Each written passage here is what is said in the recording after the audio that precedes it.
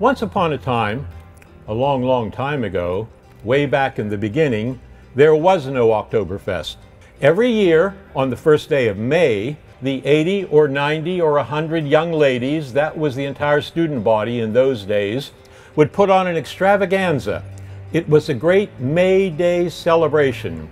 A maypole was erected, ribbons were strung from the maypole, all of the students danced around the maypole. It was a real big deal. Then in 1927, for reasons that no one seems to know, the Student Government Association decided that the May Day ceremony would be moved to the fall of the year.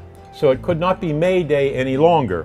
They decided that May Day would become circus and to make themselves up as clowns and circus animals and so on. In 1965, the organization, the Jones Circle, changed its name to Geist and decided that instead of a circus, there was going to be another kind of celebration.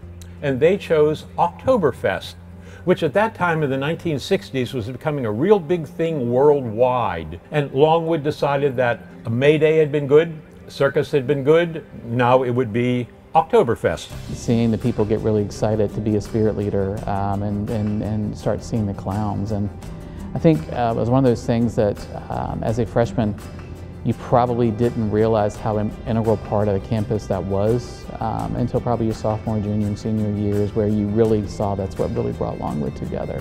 Uh, the tradition of Oktoberfest has really always been a community builder and seeing that tradition continue is really kind of heartwarming. Um, it's you know, there, there are other schools that would never be able to have an event like this. Oktoberfest is one of those true weekends where the history of Longwood, the traditions of Longwood, and, and the future kind of all come together and, and really bring, bring those concepts together. It is good that we have fun. And it is good that from time to time we stop to reflect that we here on Eiler Field tonight are not the only ones who have fallen in love with this beautiful place. Thank you so much for being a part of this chain of scholars 178 years in the past and a thousand years into the future. My friends, let the good times roll.